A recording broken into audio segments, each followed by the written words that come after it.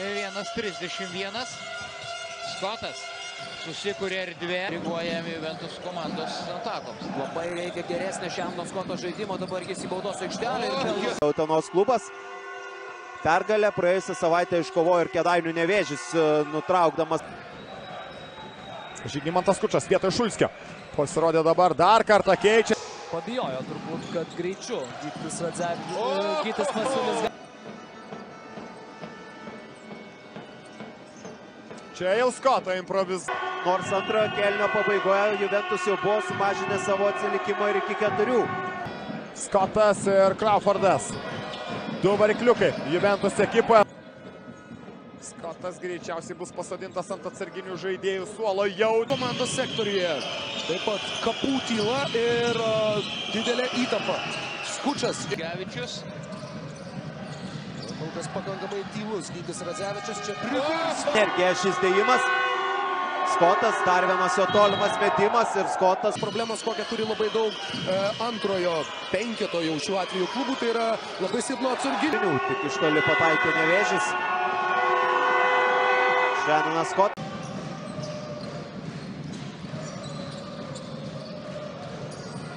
Skučio tolio Pietų Amerikos valstybių ir tuo pačiu 2016 metais žaidėsi. Žmogus, kuris šiame sezone vienose rungtynėse perėmė net aštuonis kamolius. Baigė savo kelionę dėjimų. Šimtasis taškas. Na ir šiandien turbūt Tadas Sedekerskis galėtų bandyti išnaudoti tokias situacijas, kai žaidžia. Geras metikas yra ir iš toli jis praėjusioje atakoje pataiko, kaip ir pataiko. Ta situacija. Atmestas kamuolys Ignui Vaitkui. Šiandien Skotas jau nebenorime. Šešis taškus pelnė Gycikas ir Ignas Vaikus. Tarvidas. Nes e, gan retai kildavo nuo atsarginių žaidėjų suolo ir e, aikštėje praleisdama. Atskuba vieni kitiems šeimininkai. Ir Rungtinė tikrai pagerino žaidimą, negi sakyčiau, šiek tiek pagerino. Ir koks sudėtingas Radzevičiaus metimas. Tiesa, kamuolys pagerins tą rekordą, surinks daugiau kaip gynėjas.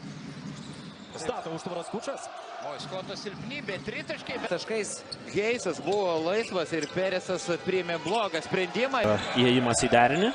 Skotas, Kučui, čia jo flauteris dešinę ranką. Jis Jį praranda. Ir Šenonas Skotas. taškų po 21 naudingumo balą. Tikrai jau atrado save Furmanavičius. Skotas tolimų šūvis. Tikrai labai stabilumo trūksta krepšininkui. Kartais labai geras rungtynės sužaidžia, bet, na, trys mačai, kai Evaldas Kairys.